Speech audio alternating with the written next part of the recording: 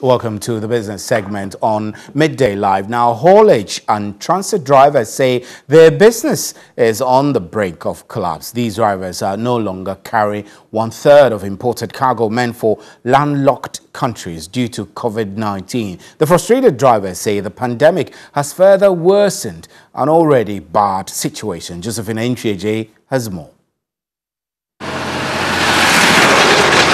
There are about 5,000 trucks stationed at the parking bay at the port enclave.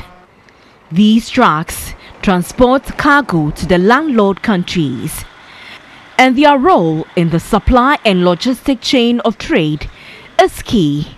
However, the business faces a peculiar problem which has not been solved for close to a year we are not receiving the cargo from our landlocked neighbors. Ideally, we know there is some understanding between us and them that when they receive their cargo, a percentage or a portion goes to their transported, and then the other one also remains or goes to Ghanaian transporters. But for various reasons, the portion that is supposed to go to the Ghanaian operators doesn't come. The truck drivers work under one body the Joint Association of Port Transport Union, JAPTU. Their concerns are many and they have therefore petitioned the port and shippers authorities awaiting response. Ghana's borders remain shut to passenger traffic but not to cargo. However, the impact of COVID 19 on transit trade and business is hurting investment. Due to this uh, pandemic, we are finding things very difficult to maintain our trucks because there is no any cargoes for us to convey to the other neighbor countries. And now the trucks are there, the mate and the drivers are there. We need to do maintenance and all that these things we are finding things very difficult. Trucks remain parked for days and months, though a few are on the road.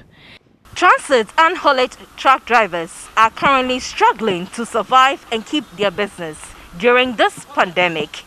Though the border closure did not affect cargo, but it was for passengers.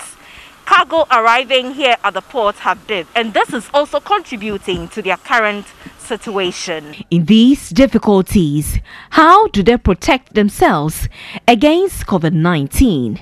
If we get to the border, they have water and they say that you should wash your hand, and the sanitizer, you clean your hand. They have the temperature uh, gun so that they will check your temperature. If they see it is normal and they can allow you to pass. Authorities are very strict on the protocols. We, the drivers, we park our cars and remain in our seats for the importer to process the documents and come for the cargo. We no longer move around freely in town as we used to do it.